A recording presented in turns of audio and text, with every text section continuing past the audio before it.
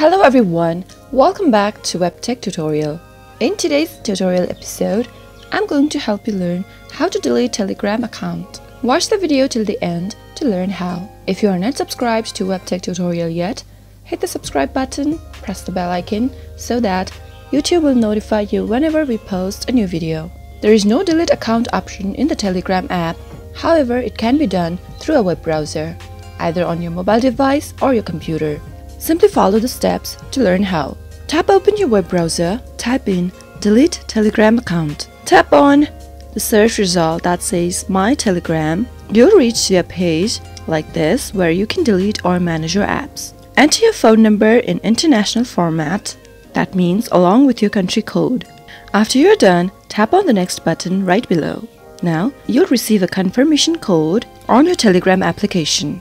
After you receive the message, simply open it and then you will see a login code sent to you. Copy the code that you received. After copying the code, paste it in the box that says confirmation code and tap on the sign in button. Now, under your Telegram core, you'll see three options.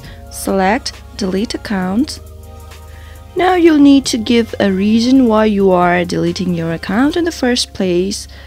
Write any reason that matches yours. Whatever the reason is, simply type it in and tap on delete my account. Now, confirm deletion by tapping on yes, delete my account.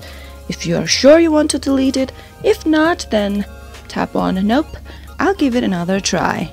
Since I'm deleting it, I am confirming by tapping on yes delete my account and that is it. Your account will be successfully deleted from the system. That is how you can delete telegram account from your mobile web browser or you can even visit the computer web browser and try deleting your account. I hope you found the video useful. If you did go ahead and give it a thumbs up. Feel free to comment down below in the comment box if you have a question or a feedback I'll see you soon with more tutorial episodes like this. Goodbye till then.